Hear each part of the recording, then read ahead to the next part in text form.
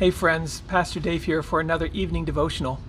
Let's go to Romans chapter 14 and talk about what the Bible really means when it says we shouldn't pass judgment on one another.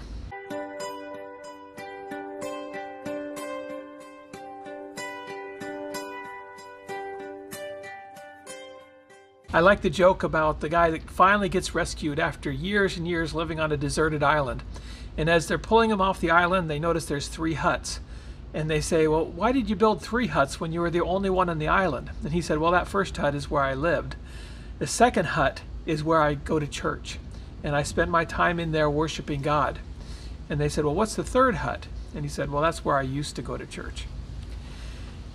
It's kind of funny because it's true, and we laugh because otherwise we'd cry, that it's so hard to keep the peace between people. And it's so hard to have love for those that we disagree with. And we see that happen all the time. How many churches have been started because of splits, because of people disagreeing with issues?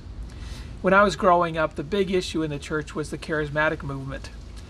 There was this movement that said we had de emphasized the Holy Spirit and anything supernatural and the gifts of the Holy Spirit, including the sign gifts like speaking in tongues and healing and uh, prophecy, and that these gifts should be given more prominence. And some people were cessationists, saying that those gifts, uh, the sign gifts, were just for the apostolic age when, when the original 12 apostles lived on this earth. And others, um, continuationists, they said that they believed that the gifts should continue and that there was no reason to believe that they had stopped. And and you know what I think? I think they were both wrong. In fact, I, I think they were both wrong because of the way they dealt with each other. Churches split, and and often it was pre- preceded by just the most obvious signs of the charismatic movement, where somebody would start to raise their hands in church. And when you saw that, you'd say, "Oh no, is starting here. We're going to have an argument, and then one part of the church is going to be saying, Oh, you guys are all dead because you don't believe that God still does these miracles. And the other side is going to be saying, You guys are all just making up all this hocus pocus stuff and, and you're just going crazy. And pretty soon a large group's going to leave and start another church. And that happened again and again and again. And I think they were both wrong. I'm not a cessationist. I believe that God still acts in this world, and He acts in mater- He acts in um, miraculous ways. I do have a theological difference with the core of what I believe is the charismatic movement. The charismatic movement teaches that there are two um, levels of salvation. First, you accept Jesus Christ, and He is your Savior. But then you have to ask for the Holy Spirit and for the gifts. And, and many of them, not all of them, but many of them say that the only sign of the Holy Spirit baptizing you is the, the gift of tongues, that you can speak in a language that you don't know. Number one, no gift is given to everybody. So I reject that. And, and the Bible teaches that tongues is not one of the greater gifts. So if there was one gift that was given to everybody, it wouldn't be tongues the gifts of the Spirit are, are given out to people as God chooses. The fruit of the Spirit is given to everybody. Everybody who accepts Jesus Christ is given the fruit of the Spirit. Plus, the baptism of the Holy Spirit is not a second blessing. The baptism of the Holy Spirit is how we get to be a Christian. We were baptized by one Spirit into one body.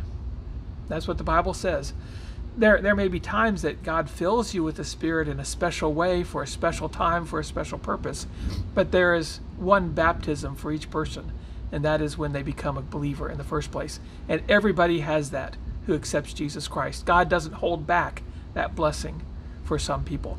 Now, others may disagree with me. And here's my point. The greatest failure in that whole argument was that they couldn't find a way to live together. And they split church after church after church. Didn't matter who was right on that issue. they were wrong because the one thing that should have been a characteristic of the Holy Spirit should have been their love for each other. And they all failed at that, or they wouldn't have split. Romans chapter 14, starting at verse 13, says, Therefore let us stop passing judgment on one another. Instead, make up your mind not to put any stumbling block or obstacle in the way of a brother or sister. I am convinced, being fully persuaded in the Lord Jesus, that nothing is unclean in itself, but if anyone regards it as unclean, then for that person it is unclean. If your brother or sister is distressed because of what you eat, you are no longer acting in love.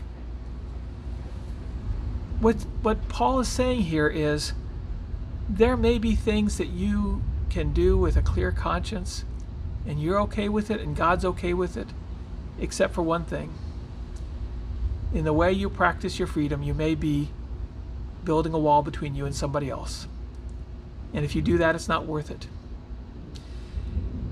The old brethren had a saying in essentials, unity. Meaning, the things that are the core of our faith, we're going to have unity.